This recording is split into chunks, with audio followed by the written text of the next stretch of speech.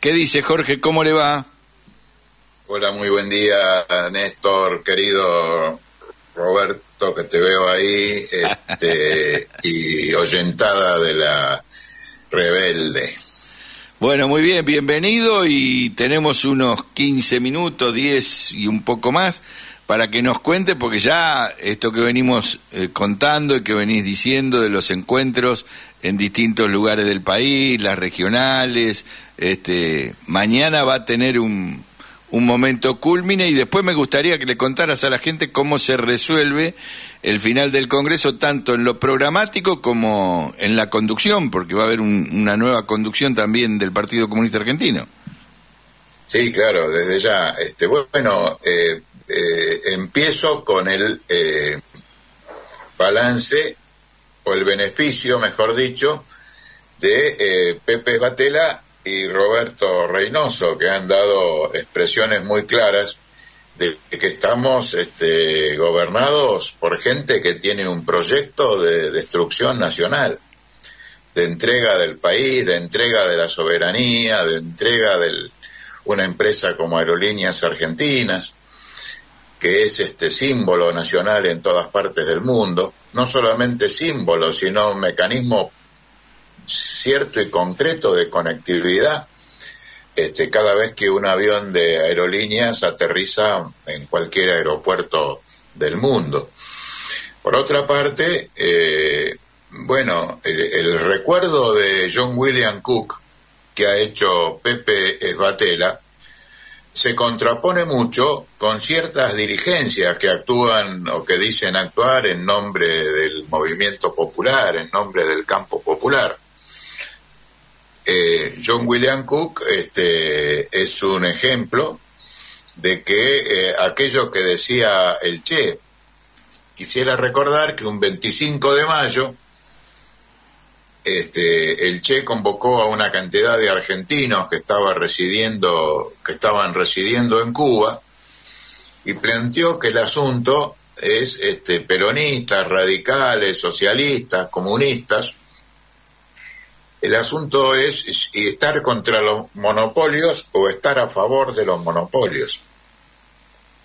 Y ese mensaje me parece que es absolutamente válido en el día de hoy porque este, tenemos un gobierno que directamente está a favor de los monopolios. Eh, esto de aerolíneas y de Macri viene de hace tiempo, porque Macri es un propietario interesado en este, las empresas de aeronavegación comercial. Estuvo asociado con Avianca, este, eh, tiene que ver con la privatización cuando entregaron aerolíneas a Iberia, recordemos aquella situación.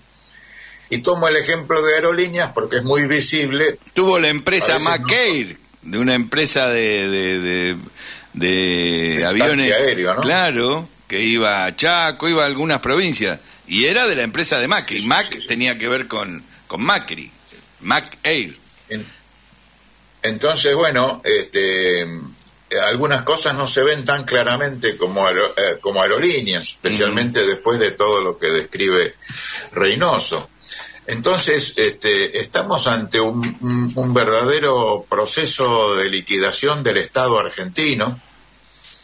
Eh, lo que pasa con el PAMI, con el ANSES, con los jubilados, el veto, el anuncio del veto. Si el veto, si se utiliza de manera permanente y constante contra cada ley que aprueba el Parlamento ya es expresión de un intento de dictadura, de imponer el veto cuando el veto es una medida extraordinaria que la Constitución le otorga al Ejecutivo en un caso extremo.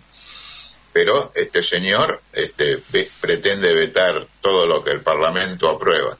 Entonces va a ser necesario, cuando él se vaya, porque se va a ir, eh, mi ley, y toda su pandilla, este, pensar en un proyecto de eh, reseteo del Estado Nacional.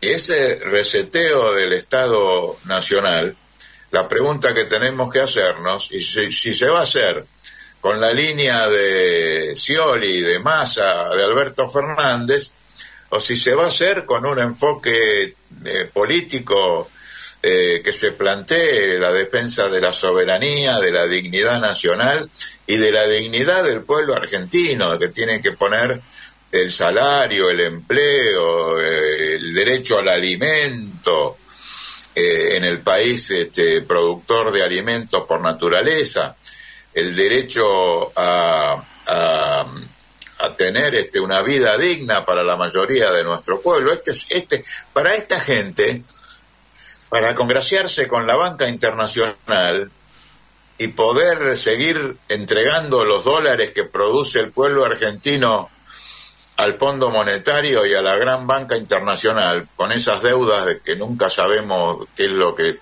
no se ve un puente, no se ve un túnel, no se ve un puerto modernizado, no se ve nada. ¿De dónde, eh, qué, qué, qué, por qué tenemos esa deuda? Este, y, y entonces, este, la utopía de esta gente es el déficit fiscal. Miren, miren qué utopía tan extraordinaria. Déficit cero es, y todo tiene que ver con eso.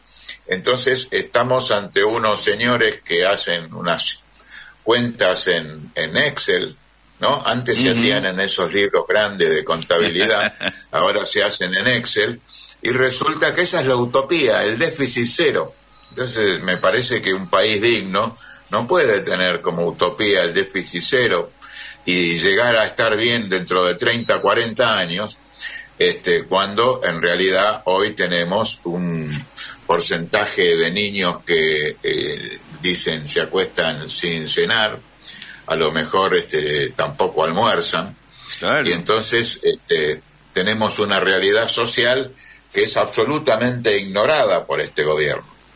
Y entonces, este, eh, yo creo que estamos, y nosotros creemos, y lo vamos a, lo estamos viendo en el Congreso de nuestro partido, este, que hay un fin de ciclo, ¿no? Porque tampoco queremos que después del desastre que deja mi ley venga un este, supuesto dirigente que se considera representante de las grandes mayorías nacionales y este, toma tres medidas y, y, después sigue la misma política, ¿no? Este, si vamos a, si nos va a pasar otra vez que vamos a tener que elegir entre un representante de un fondo buitre o fondo de inversión global y otro representante de otro fondo de inversión global.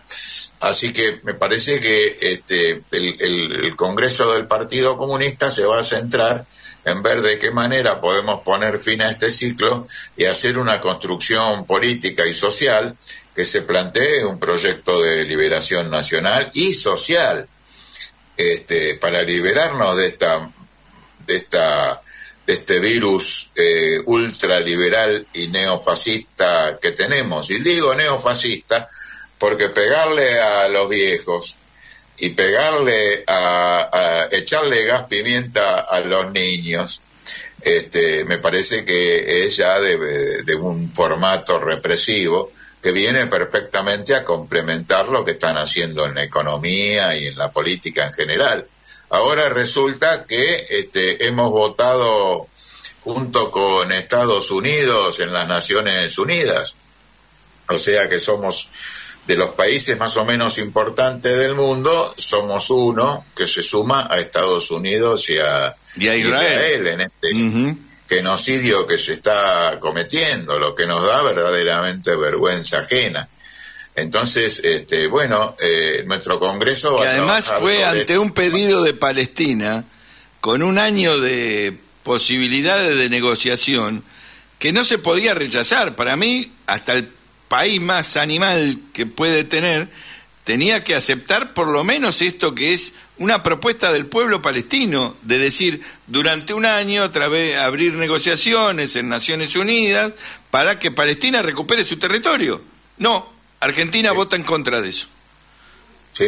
Entonces estamos en contra de la existencia de Palestina. Estamos a favor del genocidio, ¿eh? Así. Y no creo que los argentinos lo puedan lo puedan digerir tan fácil eso. Hay un peligro de que voten a favor de que la Argentina recupere la soberanía sobre las Islas Malvinas. Si van a votar con Estados Unidos y con Israel, Estados Unidos e Israel son los que siempre votan a favor del Reino Unido y en contra de la soberanía argentina en las Islas Malvinas. Miren qué aliados se fueron a buscar esta gente.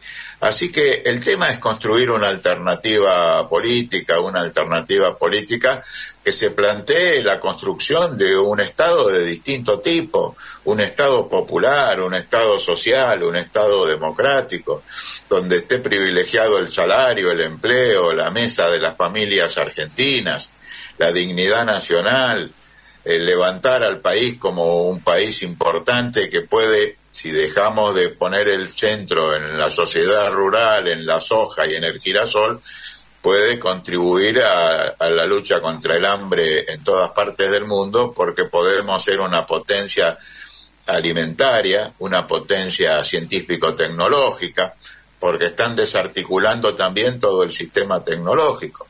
Ahora, si vamos a buscar un recambio sobre la vía de retomar un neoliberalismo más blando, más suave o más engañoso, que puede ser tan peligroso como el actual, bueno, nos parece que, eso no, no camina, ¿no? que la política del dedo se tiene que terminar y que hay que constituir una alternativa política democrática por su forma de mecanismo de funcionamiento.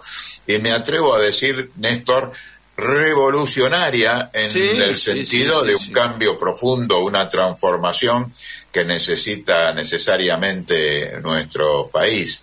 Y me parece que hay muchos peronistas, socialistas, comunistas, incluso algunos radicales y otros, que están dispuestos a formar parte de un tipo de este, convergencia como esta, muchos cristianos y mucha gente sencilla de nuestro pueblo que se, tiene, se quiere organizar y que se quiere constituir en poder popular desde abajo hacia arriba para cambiar radicalmente las cosas.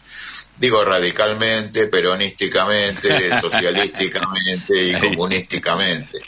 Entonces, este, bueno, eh, con un poquito de humor también que hay que poner para porque la, la, lucha es lo que nos da alegría, estar luchando, estar peleando.